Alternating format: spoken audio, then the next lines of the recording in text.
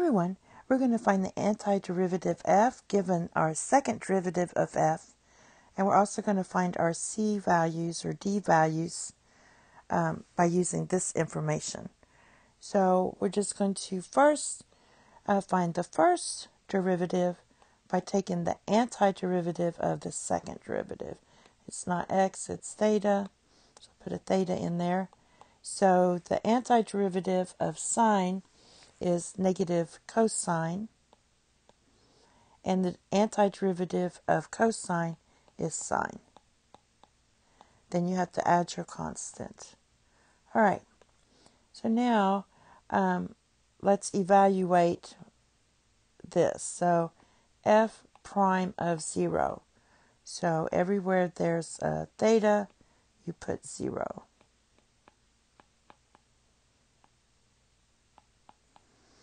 And what, what we're going to get is uh, cosine of 0 is negative 1, sine of 0 is 0, and then you have plus c. We also know that f prime of 0 is 4. So you add 1 to both sides, you get 5 equals c. So I can rewrite this as f, let's do this, f prime of theta equals, and all I'm doing is substituting in my c negative cosine of theta plus sine of theta plus 5.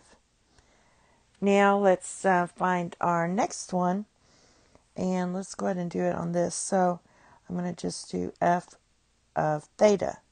So we take the antiderivative of this and we're going to get uh, antiderivative of negative cosine of theta is negative sine of theta antiderivative of sine of theta is negative cosine of theta. Plus, for this one, you get to write 5 theta. And then let's change instead of c, let's write d for the next one. All right, now let's evaluate here. So everywhere there's a theta, I'm going to put 0.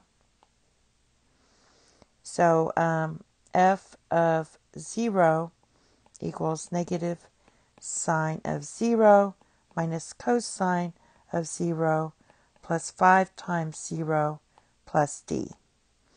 Now we know that uh, f of 0 is 3. So you get 3 equals, this is 0 minus a negative 1 plus d. So this is um,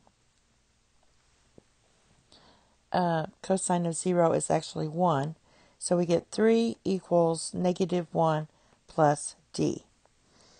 Now, if you add 1 to both sides, you get d equals 4.